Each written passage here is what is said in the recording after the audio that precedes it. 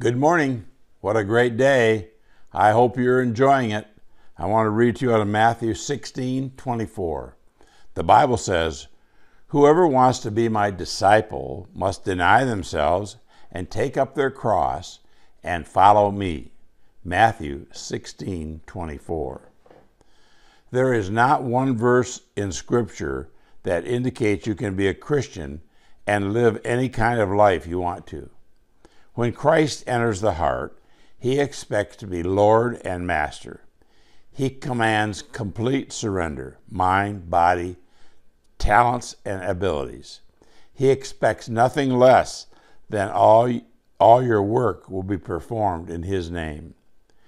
We have the warning of Christ that He will not receive us into His kingdom until we are ready to give up all, until we are ready to turn from all sin in our lives. Don't try to do it part way. Don't say, I'll live part of my life for Jesus and part for my own desires. Jesus expects 100% uh, surrender. And when that is accomplished, he rewards a thousandfold.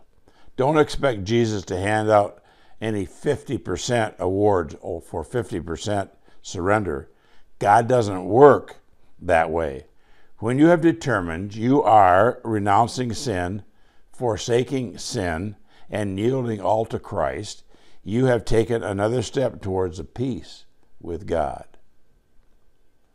Are you living partly for yourself and partly for Jesus? Have a marvelous day.